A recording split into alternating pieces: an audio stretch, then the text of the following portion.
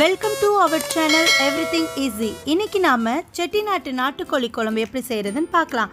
அதுக்கு அரைக்க தேவையான பொருட்கள் பட்டை ஏலக்காய் கிராம்பு தனியா சோம்பு மிளகு சீரகம் காஞ்ச மிளகாய் துருவன தேங்காய்.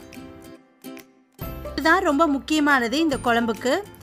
இப்போ காஞ்ச மிளகாவை வதக்கிக்கலாம். அதில் நம்ம எடுத்து வச்சிருக்க பொருளையும் வதக்கிக்கலாம். கொஞ்சம் வதங்கினா போதும். கிட்ட இருந்தே வதக்குங்க. கறியை விட்டுறாதீங்க.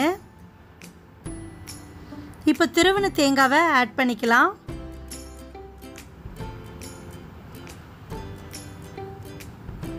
நல்லா மிக்ஸ் பண்ணி விட்ட பிறகு ஆஃப் பண்ணிடலாம். ஆறின பிறகு மிக்ஸி ஜாரில் போட்டு நல்லா அரைச்சிக்கலாம். எப்படி அரைஞ்சிருக்குன்னு பாருங்கள் கடாயில் கடலெண்ணெய் போட்டுக்கோங்க. நல்லா ஹீட் ஆன பிறகு ரெண்டு பிரியாணி இலை கொஞ்சம் சின்ன வெங்காயம் ஆட் பண்ணிக்கோங்க. நல்லா கிண்டி விட்டுக்கிட்டு இந்த நேரத்தில் நம்மளுக்கு தேவையான அளவு உப்பு ஆட் பண்ணிக்கலாம். இஞ்சி பூண்டை போட்டுக்கலாம். கால் ஸ்பூன் மஞ்சத்தூள் ஆட் பண்ணிக்கலாம். காஞ்ச மிளகாய் தூள் ஒரு ரெண்டு ஸ்பூன் ஆட் பண்ணியிருக்கேன் நல்லா எல்லாத்தையும் இப்போ மிக்ஸ் பண்ணி விடலாம்.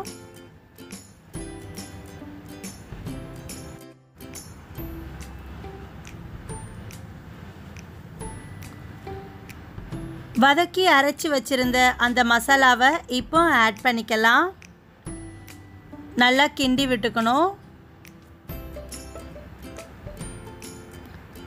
ரெண்டு தக்காளியை ஆட் பண்ணிக்கலாம்.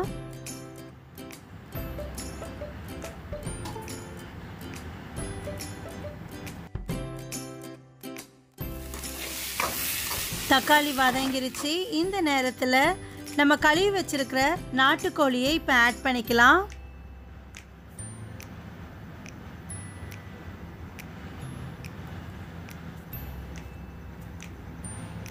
நல்லா மிக்ஸ் பண்ணி விடுவோம்.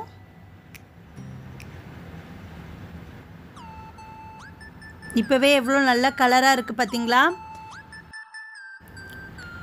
இப்போ இந்த குழம்புக்கு ஒரு கிளாஸ் வாட்டர் ஆட் பண்ணிக்கலாம். இப்போ இதை மூடி வச்சு ஒரு டென் மினிட்ஸ் குக் ஆகட்டும்.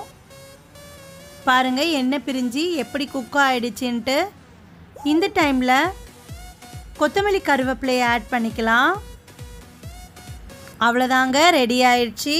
சுவையான நாட்டுக்கோழி செட்டி நாட்டு குழம்பு இந்த வீடியோ உங்களுக்கு பிடிச்சிருந்ததுன்னா இந்த சேனலை சப்ஸ்கிரைப் பண்ண மறக்காதீங்க ஃப்ரெண்ட்ஸ் பாய்